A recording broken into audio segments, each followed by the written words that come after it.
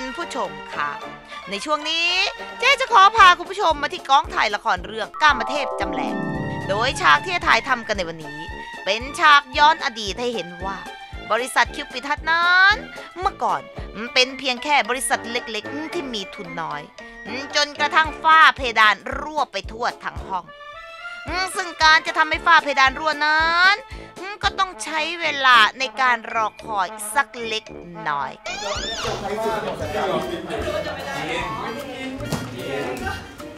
แอะป้ายังไม่ลงป้ไม่ลงเออแค่สามคนเป็นคนเหลืออย่างใครก็ได้อยู่สามแอะแอะ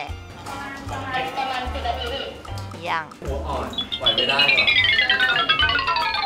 ถ้ายังไม่เสร็จแจกหมดหมดถ้ายังคงต้องรอ เยอะนะเยอะนะแค่ป้าหล่นรอแต่ว่าน้ำต้องพูดอยู่ข้างบนรออยู่เพราะป้าหล่นแล้วน้ำสรุปได้ไหมแล้วก็รอต่อไปมาแล้วน้โอ้ยถ้าจะทำการใหญ่ ใจมันต้องนิ่งขนาดนี้เลยละคะทุกคนได้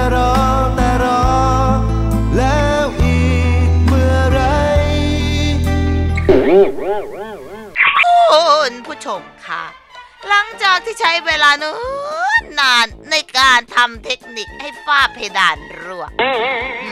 การเตรียมตัวฉากนี้ก็เสร็จสิ้นลงสักที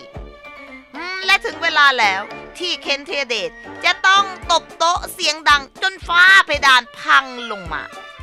และมาถึงเวลาถ่ายทำจริงก็ปรากฏว่าำโอเค ถ้างั้นเอาเวทีอันนั้นนะ แล้วแสงแบบเมื่อกี้ใช่ไหมแสงเทียนเล่าทุกอย่าง โอ้ยนั่งเป็นพุทธแสงแน่นอน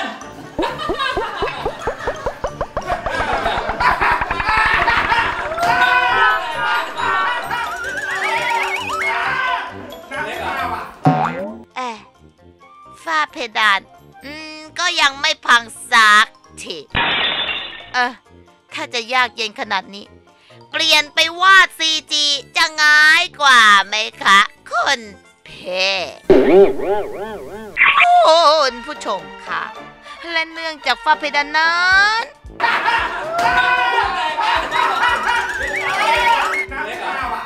อืดื้อดึงมาก ไม่ยอมพังสักทีทีมงานจึงต้องขึ้นไปแก้ไขกันใหม่อีกรอบ และระหว่างที่รอทีมงานแก้ไขฝ้าเพดานอยู่นั้น ถ้าคุณแม่ชมก็เกิดอาการบางอย่างขึ้น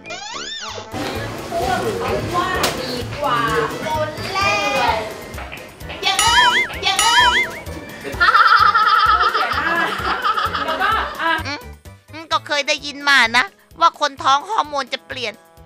แต่ไม่คิดเลยค่ะชม ว่าจะเปลี่ยนไปได้ถึงขนาดเนะ